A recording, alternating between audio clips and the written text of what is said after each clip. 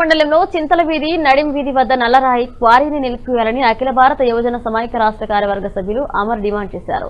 నడి వీధి గ్రామంలో ప్రజలతో మాట్లాడి సమస్యలు తెలుసుకోవడం జరిగింది.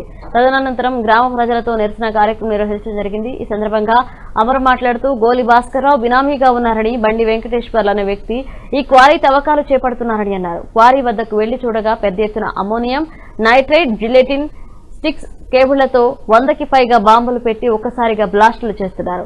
ఈ కార్యక్రమంలో ఉల్లి రామారావు మాజీ ఎంపీటీసీ కొడింబా లక్ష్మయ్య తదితరులు పాల్గొన్నారు.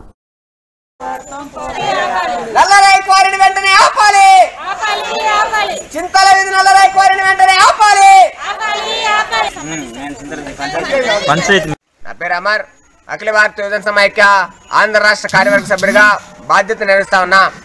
పాడేరు మండలం చింతల వీధి పంచాయతీ నడిం వీధిలో ఉన్నటువంటి నల్లరాయి క్వారీ పెద్ద ఎత్తున బాంబ్ బ్లాస్టులు చేసి ఆ రాయిని బయటికి తీస్తా ఉంది.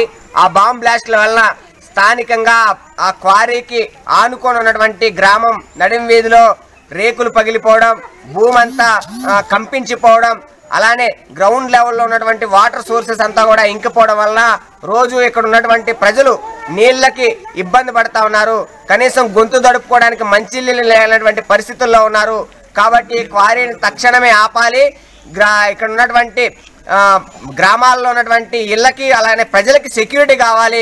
ఈ విధంగా సెక్యూరిటీ ఇచ్చేందుకు ప్రజాప్రతినిధులు కానీ ఇక్కడ ఉన్నటువంటి ఎంఆర్ఓ గారు కానీ ఈ క్వారీని ఆపేటటువంటి చర్యలు చేపట్టాలని చెప్పి మేము డిమాండ్ చేస్తా ఉన్నాం.